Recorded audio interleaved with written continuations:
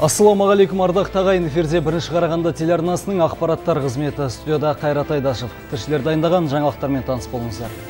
Қаламыздың пришахтинск тұрғындары мешітке қол жеткізе алмай жүрміз деп дабыл қағуда.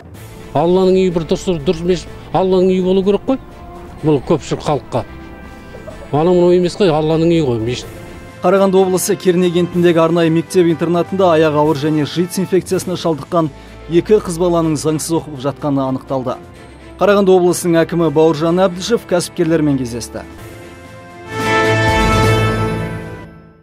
Қаламыздағы пришахтинск тұрғындары мешітке қол жеткізе алмай жүрміз деп дабыл қағуда. Шахтинск қаласындағы дін ордасы құлаудың сәл алдында тұрса аталған елді мекеннің мұсылмандар сыйынатын орталығының көлеңкесі де жоқ көрінеді.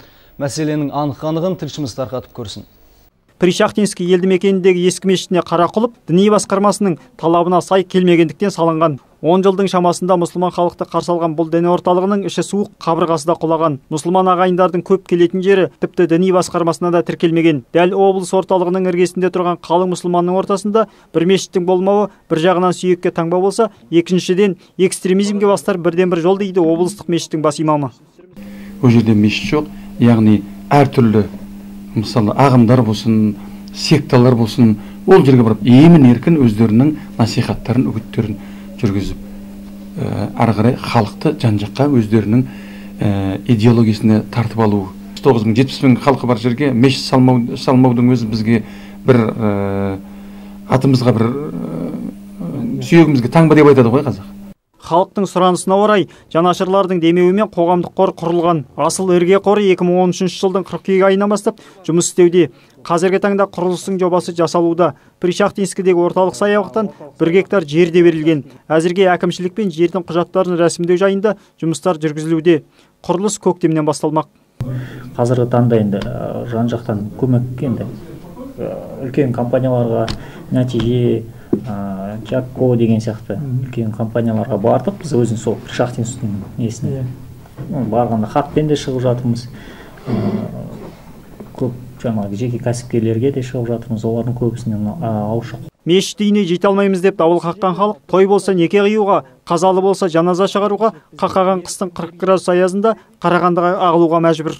Алланың үйі бір дұрыс дұрыс мешіт. Алланың үйі болу керек қой. Бұл көпшілік халыққа. Анау мынау емес қой алланың үйі ғой мешіт. Бүкіл мұсылман халқы жаңағы юго востокқа барады бірінші мешіттерге барады. Біздің осы пришахтинская негізінде керек. Бұрын болған енді болғанда да енді дәл мешіт сияқты мешіт болған жоқ. Бізге обязательно қазақша айтпаймын шынымен осы пришахтинский молдасы керек бірде мешіті керек екіде. Пришахтинский елді мекеніндегі мешіт қашан салынатыны белгісіз. Алайда қарағандылық кәсіпкерлер бір жыл ішінде салуға уәде беріп отыр. Енді мұсылмандарға қоғамдық қорға көмектесемін деген азаматтардан үміт күткеннен басқа амал жоқ. Жаңабек наров ғабиден құрышбеков қайрат рашитов ернұр жомарт бірінші қараған телеарнасы. Қарағанды облысының Керней кентіндегі арнайы мектеп интернатында аяғы ауыр және жиц инфекциясына шалдыққан екі қыз баланың заңсыз оқып жатқаны анықталды.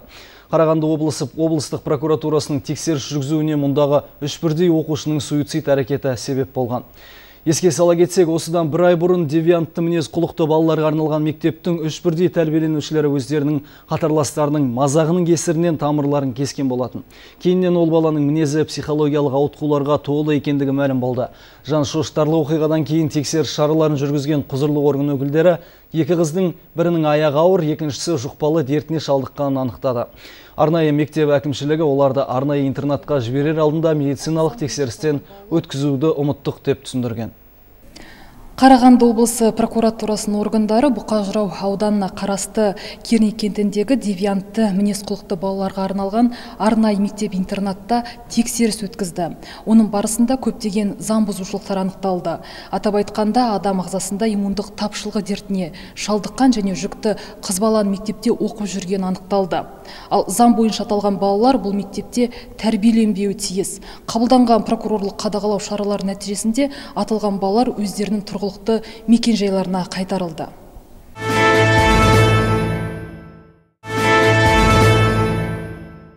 Құрметті көрермендер алда шағын жарнамалық үзіліс бізбен бірге болыңыздар.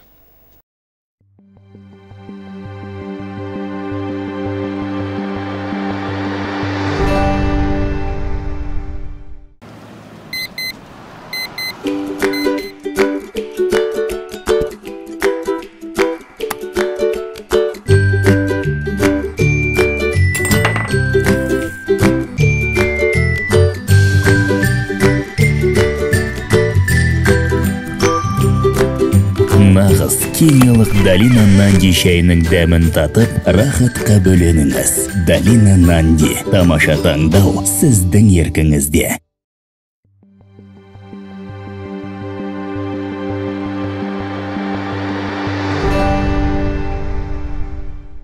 Қарағанды облысының әкімі Бауыржан Әбдішев кәсіпкерлермен кездесті. Жиында екі жақ ынтымақтастық жөніндегі келісімге қол қойып, президенттің биылғы жолдауын талқылады. Кездесу барысында облыс басшысы аймақтағы кәсіпкерлік саласын бірігіп дамыту керектігін тілге тиек етті. Толығырақ тілшіміз баяндасын. қос тарап екі жақты келісімге келген соң бірлесіп жасалатын істерге тоқталып кетті аймақ басшысы бауыржан әбдішев жиын барысында былтырғы жылдың қорытындыларымен таныстырып қазақстан 2050 стратегиясындағы шарттарды нақты орындау керектігін баса айтты во многом достижение конечно указанных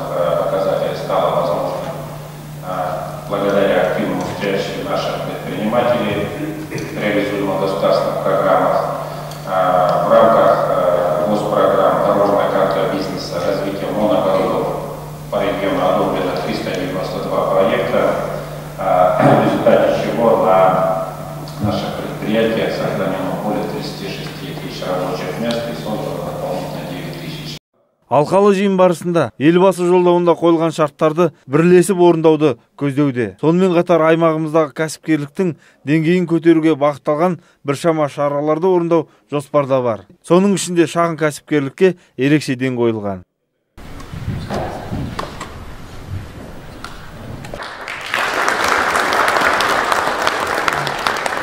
Шара соңында қарағанды облысы әкімдігі мен кәсіпкерлер палатасы өзара ынтымақтастық жөнінде келісімшарт жасасты. Маңызды құжат облысымыздағы кәсіпкерліктің қарқынды дамуына үлесін қоспақ өз кезегінде шенеуніктер де кәсіпкерлерге көмек көрсетуді уәде етті. Талғат қалиұлы олжас ғаббасов ернұр жомарт бірінші қараған телеарнасы.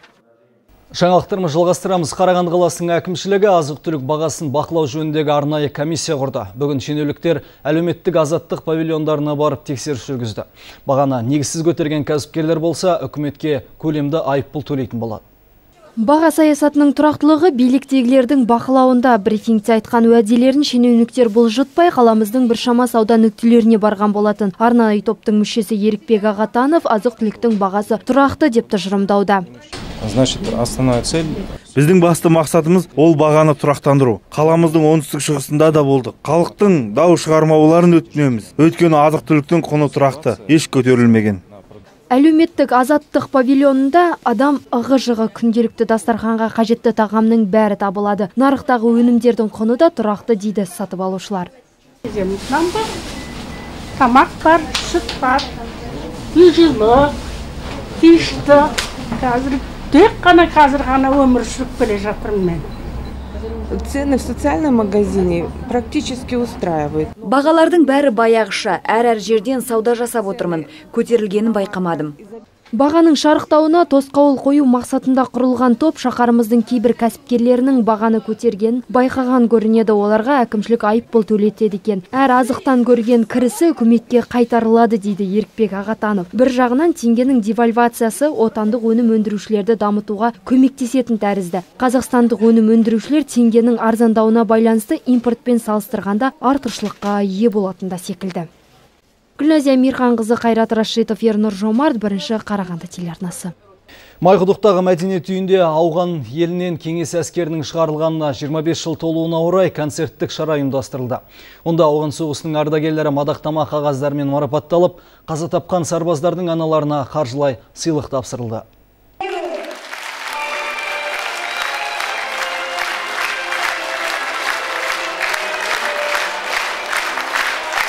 Майқұдық елді мекенінің мәдениет үйі ауған соғысының ардагерлерімен толды айтулы датаға орай концерттік бағдарлама ұйымдастырылып шара аясында ауған соғысының ардагерлеріне төс белгілер табысталды. Бүгін 15 февраль ақпан күні ауғанстан ауғанстаннан кеңес әскерлерінің шығарылғанына 25 жыл аталып өтіп жатыр.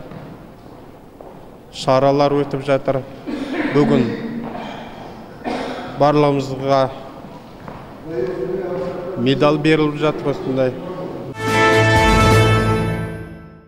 Қазақстан Республикасы қорғаныс министрлігінің мамандары Нұр Отан партиясының ғимаратында елбасының жолдауын талқылады. Күннің басты тақырыбына әскери сала мамандарының Қазақстан 2050 стратегиясында атқаратын міндет айналды. Сонымен қатар ел тыныштығын сақтайтын сарбаздар көрерменге өздерінің әскери дайындықтарын, арнайы киімдерін, қару жарақтарын көрсетті. Осылайша ел қорғанысының мықты деңгейде тұрғанын тағы да бір дәлелдеді. Бұл шарада жас мамандардың жұмысқа тартылатындығы, оларға көп үміт артатындықтарын тілге тиек етті. әрқашанда бүгінгі жас азаматтың үлкен конституциялық борышы болғаннан кейін азаматтық борышы болғаннан кейін бұл адал қызмет ету отанына сондықтан әрқашанда сіздердің араларыңызда осы сезімді жүректеріңізде әркім сақтағандарыңыз бізге де үлкен қайрат береді деп ойлаймын Қаламызда төтенше жағдайлар министрлігінің шығыс аймағы бойынша қысқы спартакиада ұйымдастырылды. Онда 5 команда қатысып бақтарын сынауда. Спорттың төрт түрінен өткізілетін біріншілік елімізде осымен 6 рет өткізілуде.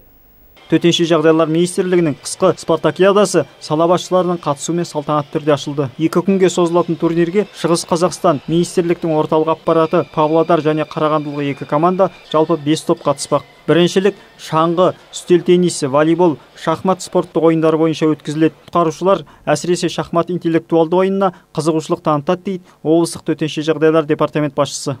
Нам бы не хотелось выглядеть именно только, что мы силовыми методами, методами занимаемся, спортивным, бегом. Бізде тек күш жұмсап, жүгіріп секіретін спорттық ойындар ғана емес, интеллектуалды ойындар да өткізіледі. Мамандарымыз бос уақытында кезекшілікте шахмат ойнайды. Сайыстардан жүлделі орындар алған чемпиондарымыз да бар.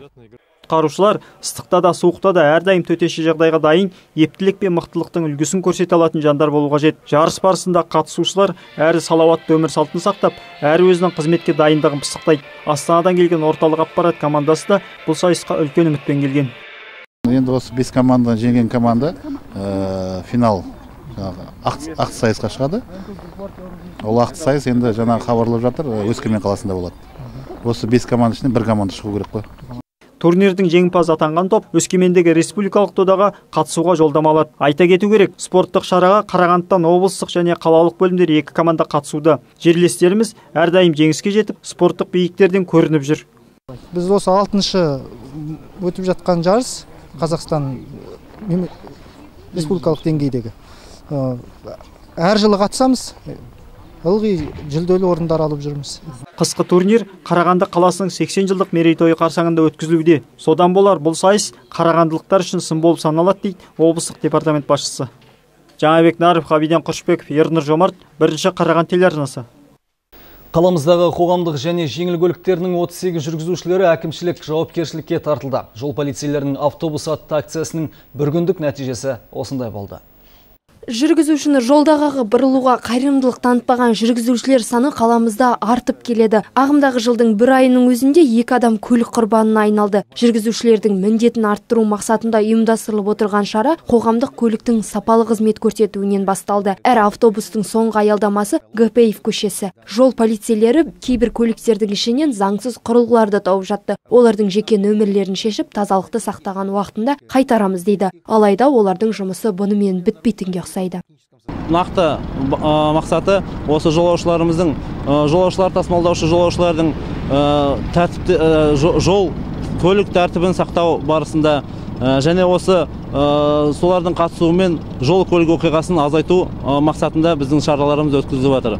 Бір күннің өзінде жылдамдықты артқан үшін қоғамдық көліктердің алты жүргізушісі тоқтатылып техникалық ақаулары дұрыс болмаған төрт жүргізуші болды.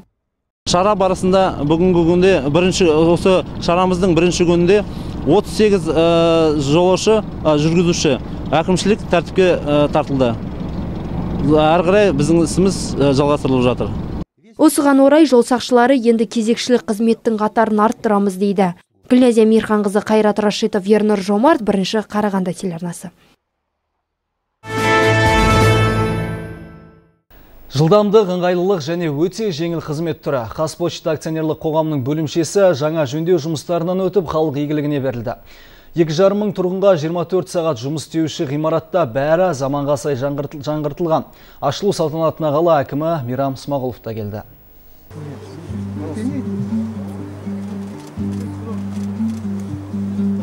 Вот и наступило Торжественная минута, и мы приглашаем вас в отделение. Елімізде технологиялармен бірге нарықта қарқынды даму үстінде осыған орай қаламыздағы қазпочта акционерлік қоғамының 17-ші бөлімшесі тұтынушылардың қажеттіліктеріне сай жаңғыртылды. Бұл 17-ші бөлімше 2500 мың тұрғынға қызмет көрсетсе оның басым бөлігі зейнеткерлер көрінеді. Мысалы 74 жастағы лариса лаврименко шаһарымызда 65 жылдан бері өмір сүріп келеді. Ал поштаның 50 жылдан бері тұрақты клиент екен. А теперь такая красота. Мен елу жылдан бері осы қалада тұрамын. Коммуналдық төлемдерді де зейнетақымды да осы қазпоштадан аламын. Бұрындары іші тар кезекті көп күтетінбіз. Ал қазір ондай қиыншылықтар болмайды деп ойлаймын. Иә, кезекте тұрудың мәселесі шешілетіндей өйткені жеті бірдей терезеде электронды түрде мамандар өз қызметін жылдам атқаруда. Раньше здесь, конечно, было не очень хорошо. Бұрын мұнда аса сондай жақсы болмайтын десе де гоголь көшесінде тұрған соң келеміз компьютерлері үнемі істен шығып көп кезекте тұратынбыз енді ондай проблемалар болмайды деп сенемін Терминал арқылы банк төлемдерінде дәстүрлі сәлемдемелерде халық енді бір күннің 24 сағатында қолдана алады. Электрондық кезегіде жұрттың заманға сай өмір сүруінің үлгісі. Қарағанды қаласының 80 жылдық мерейтойына орайластырылған ғимараттың ашылу салтанатында Мейрам Смағұлов та ақ тілегін жеткізді. Осы бүгін келген Қазпоштаның басшыларына алғыс айтайын деп Я хотел бы от имени горожан поблагодарить вас, Аскат Мизбекович, э, с сегодняшним таким хорошим праздником и с открытием нового супер э, современного отделения Казпочты, которое будет э, радовать наших жителей и очень удобно э, как раз таки для населения. Қарағанды облысы бойынша 80 мыңнан астам тұтынушы Қазпоштаның қызметіне жүгінетін көрінеді. Ал бұл ғимарат сол қалған бөлімшелерге үлгі және игі бастама дейді Қазақстан Республикасы Қазпошта акционерлік қоғамының төрағасы Асхат Бейсенбаев. Это один из э, продвижений, которое делает Казпочта в регионах, э, в областях, а показывая пример для того, какие отделения связи должны у нас становиться. Здесь есть отдельная зона самообслуживания круглосуточная, которая позволяет э, осуществлять платежи Қазпошта бөлімшелері халықты жылдар бойы әлеуметтік салада қолдап келеді. Жұрт енді бұрынғыдай газет құшақтаған апа ағаларымызды күтпей, бір күнде өзіне ыңғайлы уақытында коммуналды қызметтерін төлеп, сәлемдемелеріне қол жеткізетін болды. Жылдам әрі оңай. Гүлназия Мирханқызы Олжас Қаппасов, Ернұр Жомарт, бірінші Қарағанды телеарнасы. көрсетілім демеушісі Galaxy Group компаниясы алюгал галвин херкюль сауда белгілерімен.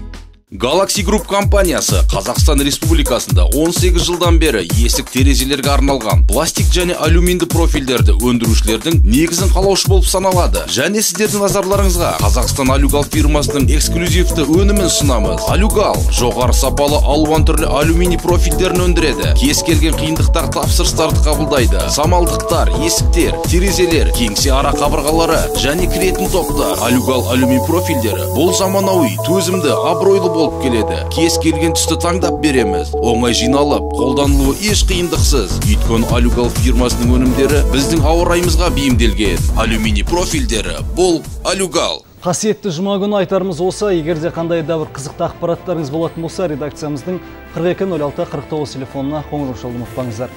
Мен өздеріңізбен қоштасамын. Демалыстарыңыз сәтті өтсін ағайын.